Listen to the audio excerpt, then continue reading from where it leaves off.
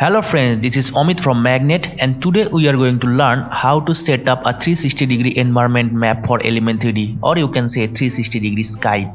So as you see in this video we have a seamless environment for this scene and you can see I rotate my camera to 360 degree but you can't see any seam in this uh, video it's all look nice so basically in this tutorial or you can say it's a tips video for element 3d so we can use uh, HDRI map for to create this uh, environment. But we not only just put it into a environment map channel and just enable the environment so we can see this but we do some little bit more work to make it more realistic so before we start i recently upload a video into my channel. If you not watched it yet i recommend you to please go and check this out because in this video i use the same technique to create this environment.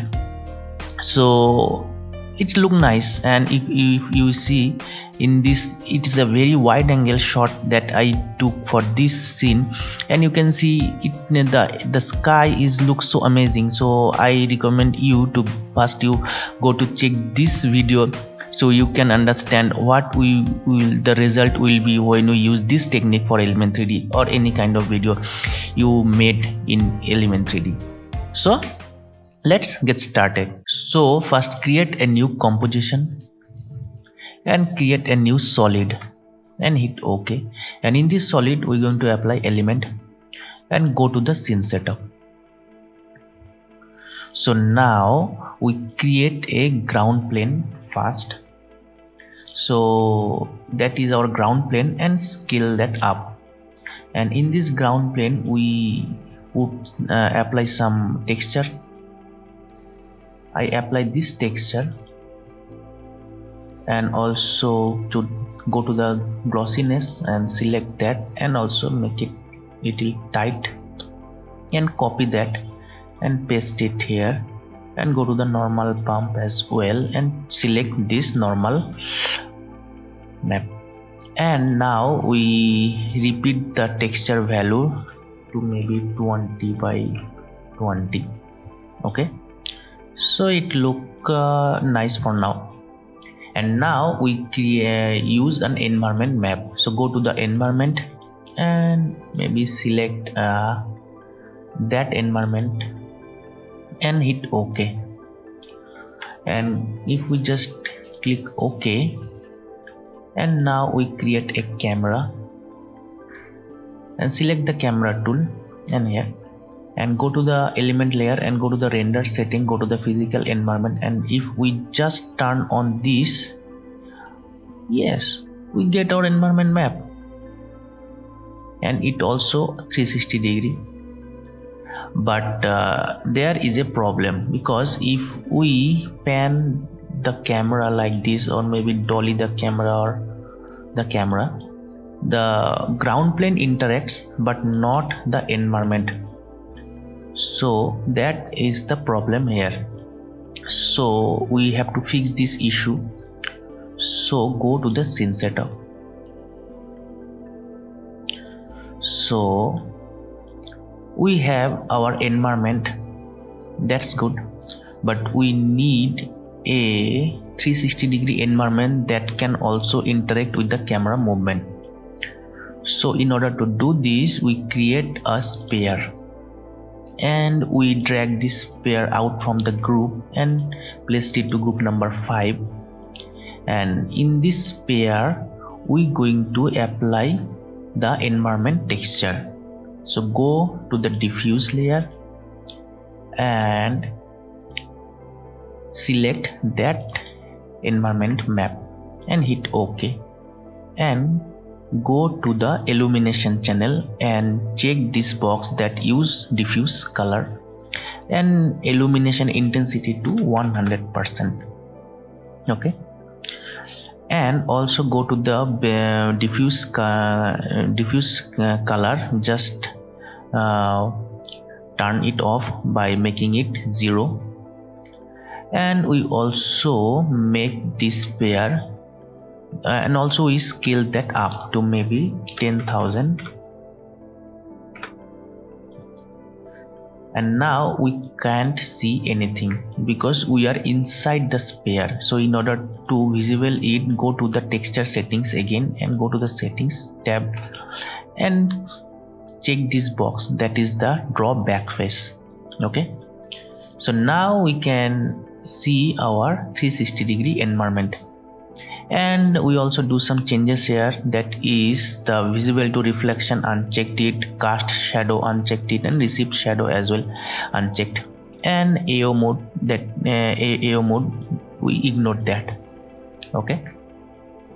So now if we hit ok we can see our 360 degree environment map as well as if if we pan our camera dolly our camera like this we can see our environment also interact. So that is the trick behind 360 degree environment map. So now if we can also do some changes to make it more realistic that is if we create a null object for the ground and if we scale that up like this okay.